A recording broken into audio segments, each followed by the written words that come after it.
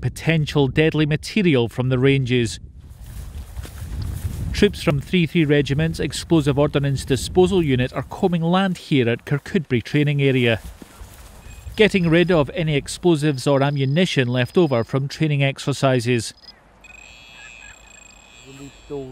A role they've been drafted into due to the current COVID 19 restrictions. Usually, this task would be conducted uh, by uh, civilian contractors. However, due to uh, the situation, there would not be the support in place for them to conduct this task, such as hotels, feeding, and transport.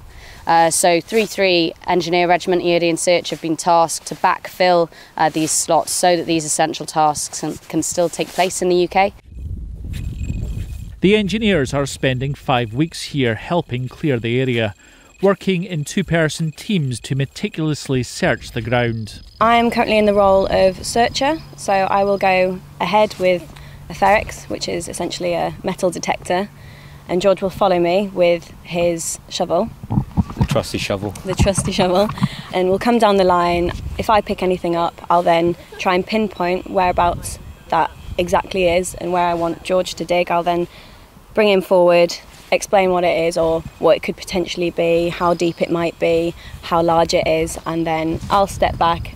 George will then take over. Once Nix has told me what is possibly in the ground, I'll then um, come forward. I'll possibly make a box around the possible device, depending on how big it is.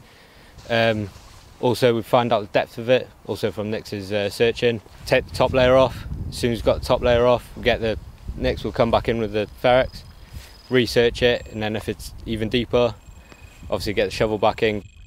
Some parts of the training area here are open to the public, and making sure the land is safe for them to enjoy means hazardous material from any exercise must be cleared. We've got 30 hectares of land uh, to move through and clear of all explosive ordnance.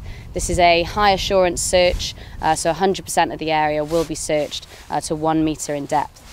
Uh, and this then ensures uh, that the area can be used for future taskings and also just for the local population, uh, the civilian population, to move through with footpaths and the like. It's painstaking work, but by the time the engineers finish, the land will be safe and ready to be used for future training exercises and for the local community to enjoy.